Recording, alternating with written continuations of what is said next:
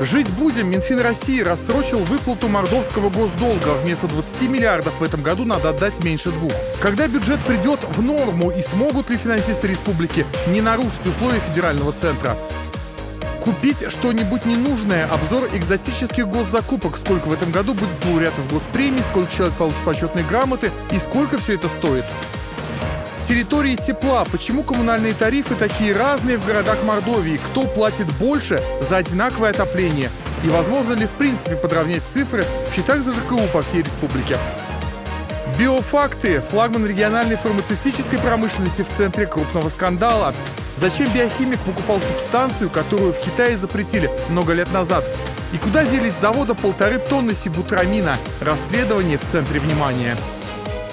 Браконьеров стали судить по новым правилам. Теперь за незаконную охоту можно получить реальный срок, однако в Мордовии убийца трех благородных оленей отделался условным.